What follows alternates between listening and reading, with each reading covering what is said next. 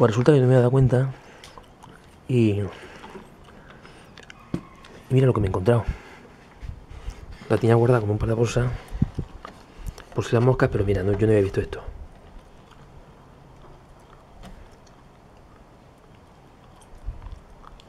Entonces, la tuve metida en dos bolsas de plástico, pero tampoco la tuve muy aislada. Entonces estoy un poco preocupado de que el bicho haya salido de aquí y se me haya metido en casa.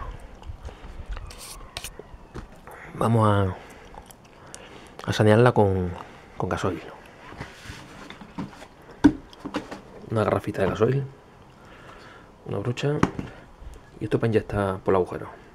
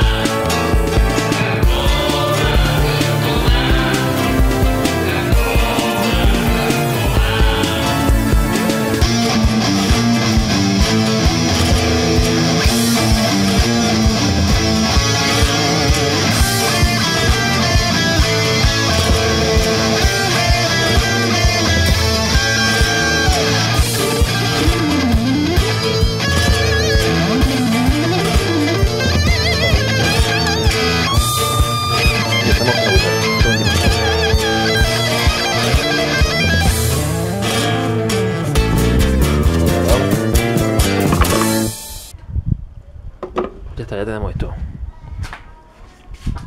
Viene poco de gasoil por todos los sitios. Y ahora a sacar una que lleva encerrada en gasoil como 5 o 6 meses. Aquí lo tenemos. Vamos a sacar a ver lo que nos encontramos. Bueno, pues esta es una y esta es la otra.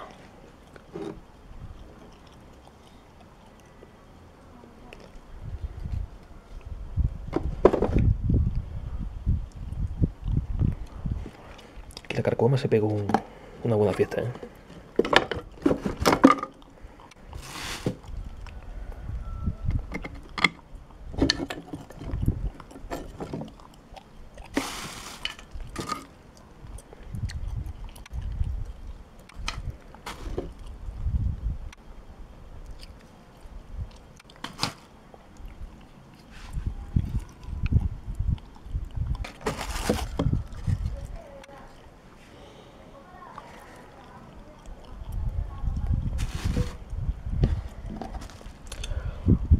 A esta le vamos a dar tu repaso. Esta que es la que llevaba 4 o 5 meses en cuarentena, que le había metido gasoil hace 4 o 5 meses, le he vuelto a dar gasoil. Otra, otra mano. Y la he encerrado entre bolsa de plástico para que cuando le pegue la calor, le pegue el sol a la bolsa, se, los, los gases del gasoil, los vapores, maten la carcoma y los gusanos, lo maten todo. Como estaba tan mal, le dado una segunda mano. Ahora la guardaré y la dejaré aquí en cuarentena unos cuantos meses. Y esta, la que estaba un poquito mejor, que doy la segunda mano, Le he metido en tres bolsas también. Para lo mismo, para que se la carcoma en su propio. en el gasoil. En su propio, ¿no? En el gasoil. Y lo dejaremos aquí metido un tiempo. ¿Cuánto? Pues no sé, hay gente que dice una semana, dos semanas, varios días. Yo esto lo puedo dejar tranquilamente ahí metido. Lo puedo dejar tranquilamente tiempo. No sé cuánto, pero un mes por lo menos puede ser.